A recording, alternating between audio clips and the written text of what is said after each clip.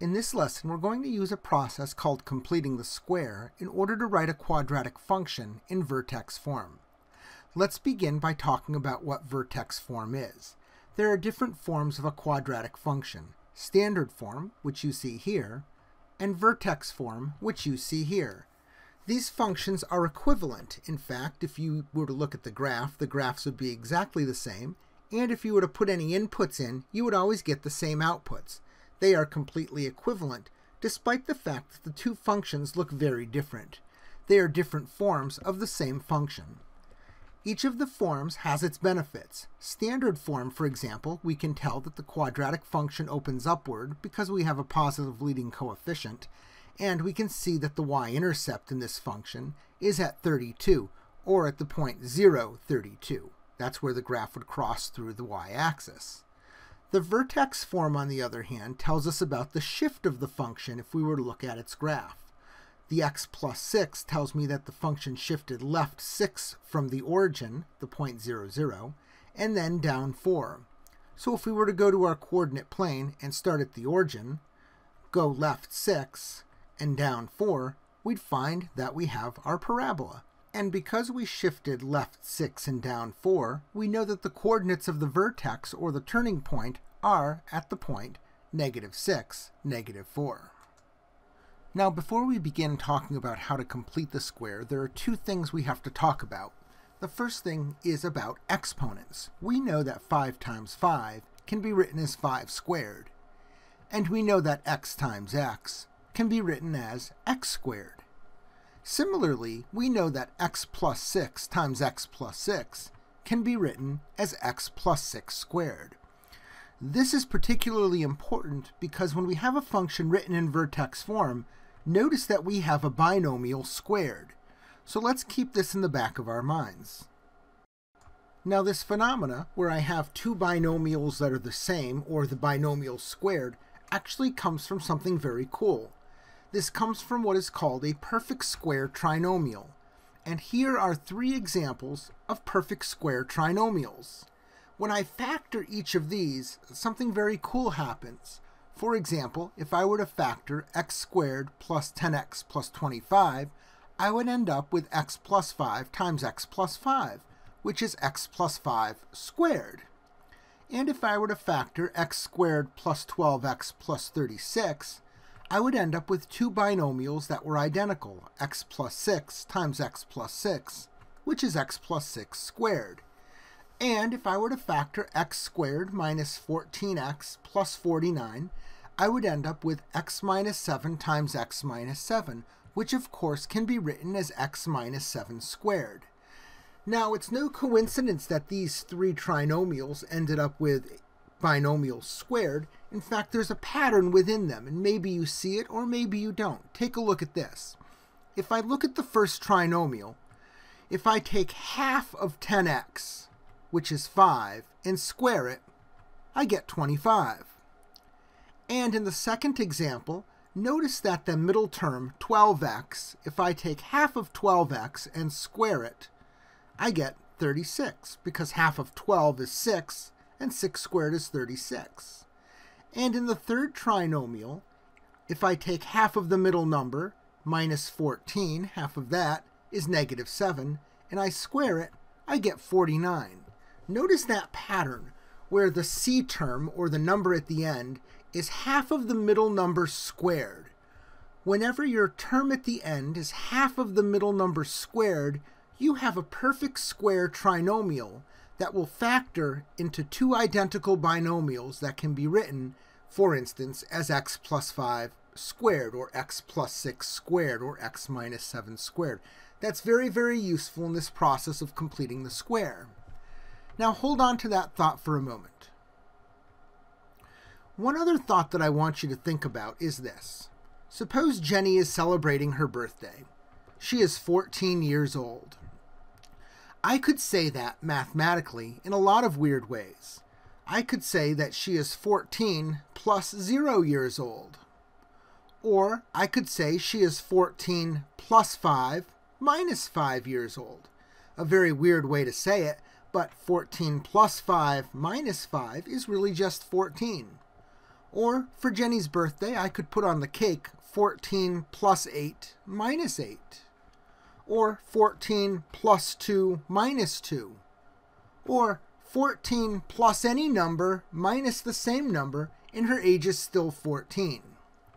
Hang on to that thought as well, and all of these things that we just talked about are going to come in very handy as we learn how to complete the square. Now, with all of this information in mind, we're ready to begin our first example. Write the function in vertex form by completing the square. Before we begin, a few words of advice and a few words of caution.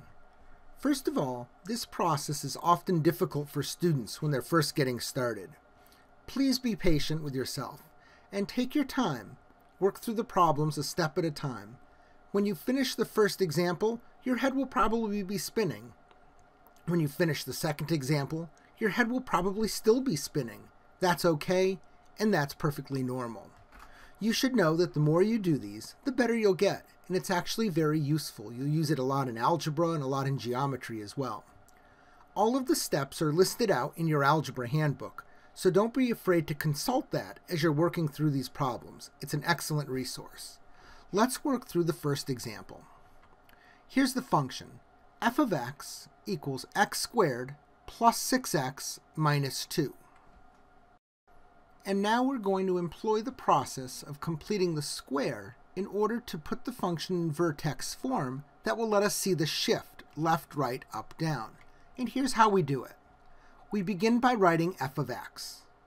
We're going to copy everything down from the original function with two exceptions. Here's what we're going to add in. x squared plus 6x, just like the original, plus a mystery box. Minus 2, just like the original, minus the mystery box. Notice we have a plus a mystery box and a minus a mystery box. We are going to put some numbers in that box that will give us a special scenario. In fact, the scenario that we're hoping for is that we'll end up with a perfect square trinomial so that when we factor the first three terms, we end up with a binomial squared. Now, how do we decide the numbers to put into that box? I mean, we could put any numbers in the world, right? Plus 5 minus 5, plus 8 minus 8, plus 6 minus 6. But we have to put the right numbers in there so that things factor out how we want them to. Here's how we do it. We go to the middle term in the trinomial. We have x squared plus 6x plus box we take half of the number in front of the x. That number is 6. Half of it is 3. And we square it. 3 squared is 9. 9 is the number we put in the box. So both of the boxes will get the number 9. Notice the trinomial that I have in brackets. x squared plus 6x plus 9. That is a perfect square trinomial, meaning that the number at the end, 9, is half of the middle number squared. Half of 6 is 3, squared is 9. And when we have that pattern, that trinomial will factor into two identical binomials, as we can see on the right-hand side of the screen. That trinomial will factor into f of x equals x plus 3 times x plus 3, which is x plus 3 squared, and then I take the two numbers at the end, minus 2 and minus 9, combine them together, and I get minus 11. So the vertex form of the function is f of x equals x plus 3 squared minus 11. One thing I want to show you, you'll notice I didn't factor using the grid or any fancy techniques. In these problems, it will always be the case that half of the middle number, which was positive 3, is what is in the parenthesis with the x. So half of the middle number was 3, so it was x plus 3 squared, and then minus 11. The second part of this problem says state the coordinates of the vertex. State whether the vertex is a maximum or a minimum. Let's take a look. Left 3 is given by the x plus 3. Down 11 is given by the minus 11. So if I were to construct a graph and move left 3 and down 11, I end up with a parabola down there in the third quadrant. Left 3 down 11 puts the vertex at the point negative 3, negative 11. I find it very useful to draw a sketch, and I encourage you to do that every time. Now, this parabola will open upward. We know the parabola opens upward because we have a positive leading coefficient, positive x squared, in the original. And so since the parabola opens upward, the vertex is a minimum. Now we made it through the first example, but I doubt you're feeling very good about it at this point. In fact, it'll probably take a few more examples for you to start feeling a little bit comfortable. Let's go through another example. Write the function in vertex form by completing the square so that we can see the shift left, right, up, and down. Here's the function. f of x equals x squared plus 10x plus 3. And once again, we're going to write our function copying everything down, but adding in the mystery boxes. f of x equals x squared plus 10x plus the mystery box. We always do the first two terms plus the mystery box. And then the last term plus 3 minus the mystery box. And we'll figure out in a moment what numbers go into the mystery box. But now let's put our brackets around the trinomial. And now let's figure out the number for the mystery box. Look at the number in the middle, 10. We want to take half of that. What is half of 10? 5. And now, to find the number for the boxes, we take that number 5 and we square it. What is 5 squared? 25. Put that number in both of the boxes. We're now ready to continue. Now, we simply have to write our function in vertex form. f of x equals, and now we have to factor the trinomial, we don't really have to do any difficult factoring because it follows the pattern of a perfect square trinomial, where what's going in the parenthesis is exactly the number that I took and had half of. So, if I look here, plus 5 was the half of the middle number, this will be x plus 5 squared.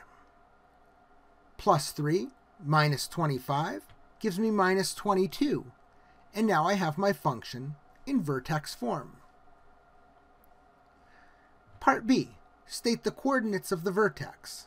State whether the vertex is a maximum or a minimum. First, let's determine the shift. Let's look down at our function in vertex form. F of x equals x plus 5 squared minus 22. x plus 5 squared, well, the plus 5 tells me that I'm going left 5. It's the opposite of what you would think. The minus 22 on the outside means the parabola is shifting down 22. Go to the origin on the coordinate plane, go left 5 and down 22. That's where your parabola will be. Because the leading coefficient is positive, we know that the parabola will open upward. The coordinates of the vertex, left 5, down 22, so negative 5, negative 22. Because the parabola is opening upward, it's easy to see that that vertex is the lowest point on the graph, which means that the vertex is a minimum.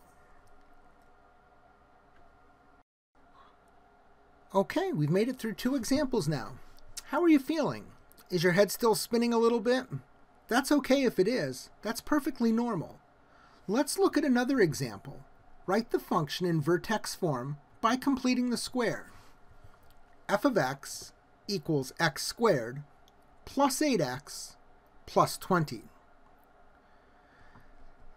The first thing I'd like for you to do is to write this down with the mystery boxes. So copy down, write the first step with the plus the box and the minus the box. Take a moment to do that right now.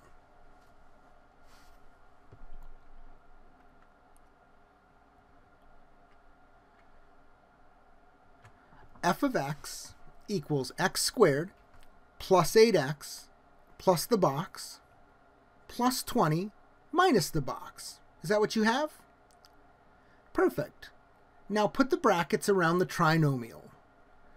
Now, find the number that goes in the mystery boxes.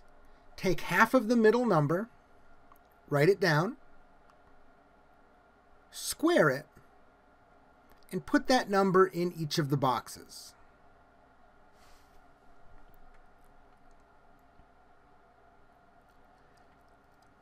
We take half of 8. Half of 8 is 4. 4 squared is 16. So in the boxes, the number that you have written down should be 16. Now, let's write this in vertex form. Go ahead and give it a try.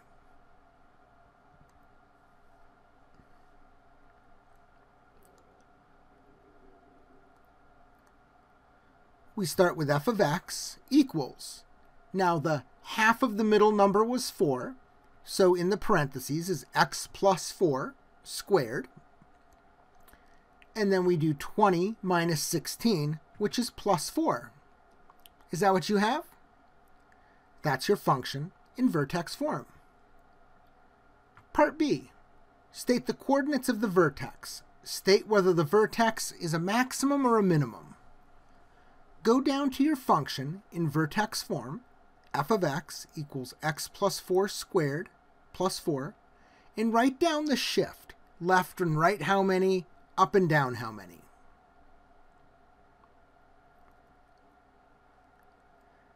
x plus 4 tells me left 4, and the plus 4 on the outside tells me up 4. So this function shifted left 4 and up 4 from the origin. Now, draw a coordinate plane on your paper. It doesn't have to be fancy. Put your pencil at the origin where the x and y axis intersect. Move left 4 and up 4. Draw the point of your vertex right there. This parabola has a positive leading coefficient, so it will be opening upward. So draw a little parabola. It should look like this. Now, write the coordinates, the location, of that vertex. Remember we went left 4 and up 4.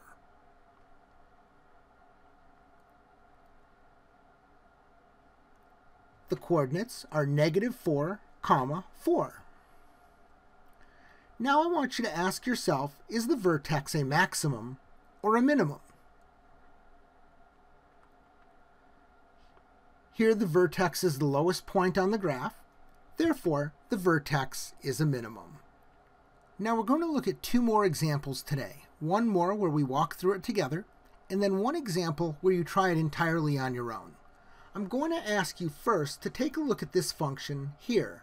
f of x equals x squared minus 10x plus 2. I'd like for you to first rewrite this with the plus the mystery box and the minus mystery box. Then put the first three terms of the trinomial in the brackets and figure out the number that goes in the mystery box.